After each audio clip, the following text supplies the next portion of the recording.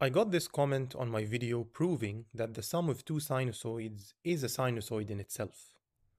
How do we prove this identity? The first step is to assume it is true.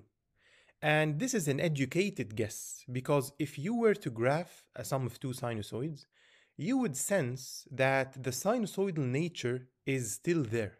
So it's fair enough to guess that the sum of two sinusoids is another sinusoid. To not lose generality, you give it a certain amplitude r and a certain phase alpha, and then you work from there. We'll start by expanding the cosine, which will give us r cosine x cosine alpha plus r sine x sine alpha. And then we'll compare coefficients. And perhaps it's easier to switch those terms. And then notice that the coefficient of cosine x is a on the left hand side and r cosine alpha on the right hand side. So these must be equal. And we'll do a similar thing for the coefficient of sine x as well. So we have these two equations, two unknowns. Of course, a and b are known constants. So to find r, let's square the two equations.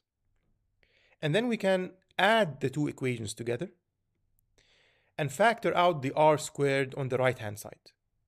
Notice that we have a cosine squared plus sine squared with the same input, so this must be equal to 1. So we have r squared equals a squared plus b squared, and taking the positive square root, we get r is equal to radical a squared plus b squared.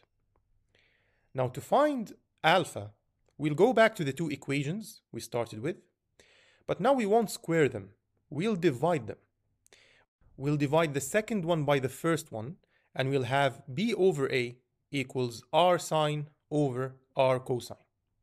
The r and r cancel out, and sine over cosine is tan. So we have tan alpha equals b over a. So alpha, of course, will be the inverse tangent of b over a, which of course agrees with the result I presented in that video. Now, perhaps this is an engineer's way of solving it, because we started with a guess and then worked from there.